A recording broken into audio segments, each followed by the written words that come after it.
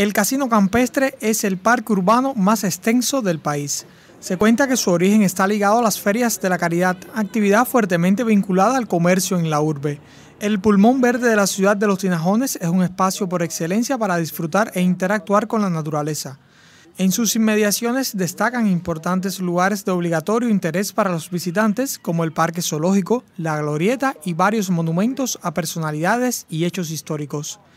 Ahí se encuentran los obeliscos en homenaje al héroe desconocido y al vuelo Sevilla-Camagüey, primero que se realizó desde el país ibérico hasta la mayor de las Antillas, aunque los archivos históricos españoles lo recogen como el vuelo Sevilla-Habana.